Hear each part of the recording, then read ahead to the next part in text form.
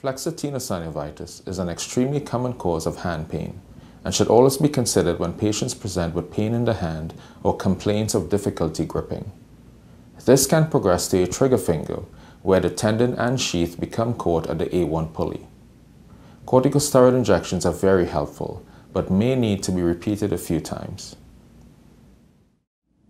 Injections around the flexor tendons of the hand are often done for flexor tenosynovitis trigger finger or trigger thumb. The tendon is usually tender along its distal portion and under the A1 pulley. The A1 pulley, indicated here in purple, is a fibrous band overlying the metacarpal heads. The flexor tendon passes under this band, and so bowstringing is avoided when the finger is flexed. You can examine the tendon for tenderness by palpation and you can also check for tendon crepitus, nodules, and triggering or locking of the finger. Swelling and nodules along the tendon can cause trigger finger as the affected area gets caught at the A1 pulley. The point for injection of the second flexor is just distal to the proximal transverse crease. For the third flexor, it's halfway between the proximal and distal transverse creases. And for the fourth and fifth flexor tendons, it is about 1 centimeter distal to the distal transverse crease.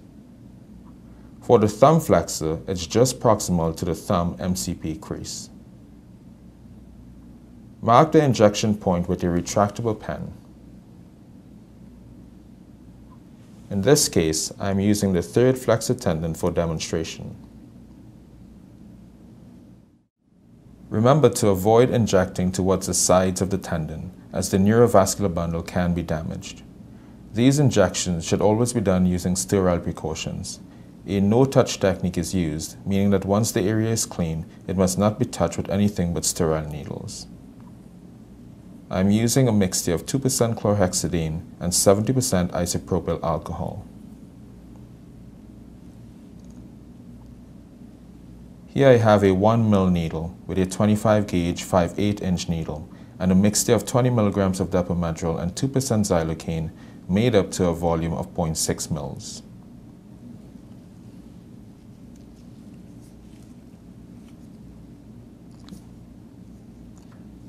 Advance the needle vertically down towards the tendon sheath.